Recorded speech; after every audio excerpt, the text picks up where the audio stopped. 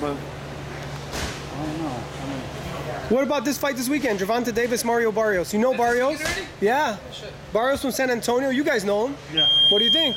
it's a good fight. It's a good fight. I'm kind of curious to see how uh, uh, how Tank moves up.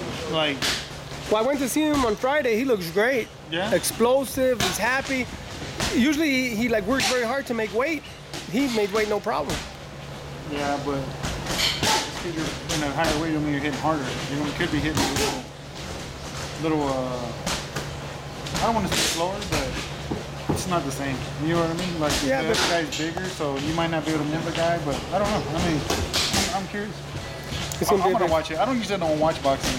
I, I don't. But you're gonna watch this fight. I, I'll, I'm gonna watch this one. I don't usually watch boxing at all. And Around it the whole time if Tank wins, what does that say? Champ at 130, 135, 140, all at the same time. He's good. good. He's good right now, even if he doesn't win. But he's still good. And then um, also Lomachenko's fighting Nakatani this weekend. That's a tough one. Yeah.